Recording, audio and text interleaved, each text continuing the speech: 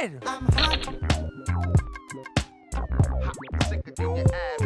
Ah, it's a winner. Right. Hei sann. Ute og stå på ski, du òg? Ja. Hva slags eh, Er det ordinære slalåmski du har òg, eller? ja.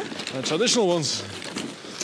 Det du skal gjøre skjønner du, når du står på slalåmski, ja, det er at du, du må passe på du har ene foten foran den andre. Just like that. Then you have to Nei!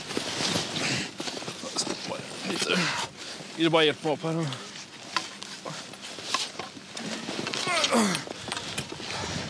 Snakker vi en munch, eller? Wicked girls and have fun together.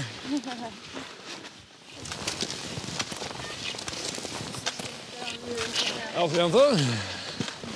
Er ute og går på ski, dere òg? Have skin for it! Ha! Har dere noen teknikk på skia deres, dere? Ja.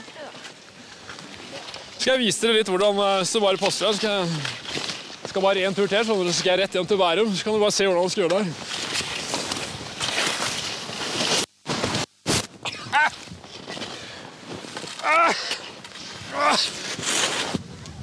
Det er en bakker å anbefale.